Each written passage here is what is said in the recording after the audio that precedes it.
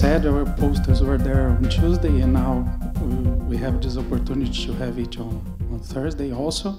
And the idea of this poster is quite easily. Uh, we're just getting uh, the results of the modeling results that we've we've get me Rob uh, a few years ago and try to use them as an input to to start the interpretation of recent X-ray diffraction, uh, X, uh, sorry, XAFS data on zinc doped uh, lithium niobate in terms of the defects that we found that has the lowest energy.